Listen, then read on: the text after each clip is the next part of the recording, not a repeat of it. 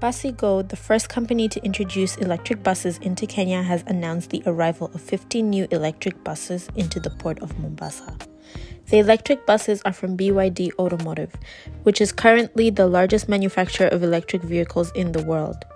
The arrival of these 15 new vehicles follows Basigo's successful pilot of the first electric buses in Nairobi and represents the largest shipment of electric buses to ever enter the region.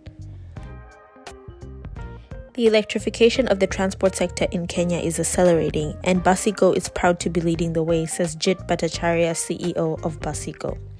These 15 buses will soon be plying routes across Nairobi, giving residents of Nairobi access to safe, comfortable, and clean public transport for their daily commute. Basigo first launched electric buses into pilot operation in Nairobi starting in March of 2022. The company's two pilot buses have driven over 120,000 kilometers and carried over 150,000 passengers, with two separate bus operators, City Hopper and East Shuttle. This new shipment is the same model of electric bus as the pilot program. The new buses have arrived partially assembled and will be taken to Associated Vehicle Assemblers in Mombasa for final assembly and finishing. Thank you.